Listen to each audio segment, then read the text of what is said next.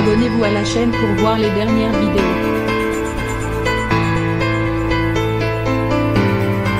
Vincent Lagaffe a prévu de faire son retour à l'antenne le 24 novembre prochain malgré sa nouvelle intervention pour guérir sa cheville.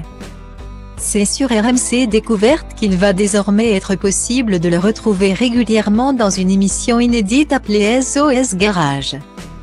L'animateur apportera son aide à des garagistes en difficulté et sera épaulé par un expert. Un nouveau projet pour lequel a sans doute collaboré Robin Will, son fils unique né de ses amours avec Véronique en 1990. Et pour cause, le jeune homme de 32 ans s'est à son tour tourné vers l'audiovisuel. Mon fils a grandi sur les plateaux de télé et a très vite voulu devenir caméraman. Il a fait une école de cinéma et participe maintenant à presque tous mes tournages. Et comme on ne vient pas le chercher, virgule a confié Vincent Lagaffe lors d'une interview pour Télé Loisirs. Estimant qu'être le fils de lui a collé une mauvaise image. Parce que c'est le fils Lagaffe et qu'il n'a pas besoin de bosser vu qu'il est riche. C'est ce que je ressens. Ça m'aurait fait plaisir qu'il puisse rentrer dans ce monde dans lequel il y a pourtant beaucoup de travail, a-t-il regretté. Qu'à cela ne tienne, l'ancien présentateur du Big Deal, lui, a bien reconnu les qualités de son fils et ne tarit pas d'éloges à son sujet. Il est volontaire et fonceur. Il n'a pas peur d'y aller à fond et ne compte pas. Mais il est plus intelligent et a une culture bien plus fournie que la mienne. Juge-t-il, non sans fierté.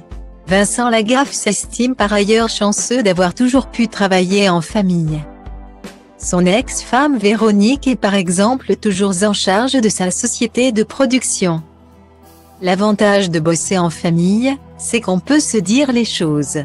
Travailler avec ma femme. Ça a été une question de confiance, car je savais que personne ne me volerait, il rit.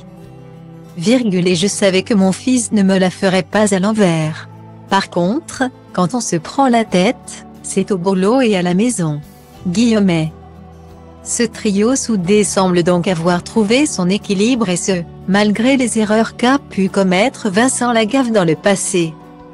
L'animateur se réjouit notamment de voir quel homme est devenu son fils, lui qui mal parti pour garder les pieds sur terre. La faute à son paternel en quête de gloire. Je me suis parfois servi de lui pour des retombées médiatiques, on m'avait tellement soriné à sa naissance pour faire une photo avec lui que j'avais fait la couverture d'un magazine quand il avait une semaine.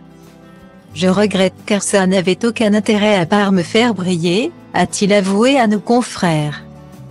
Mais, sur les plateaux, ça l'amusait de poser enfant avec moi. Sa mère était un très bon paravent et j'aurais peut-être dû plus le protéger. Mais il ne le vit pas mal aujourd'hui.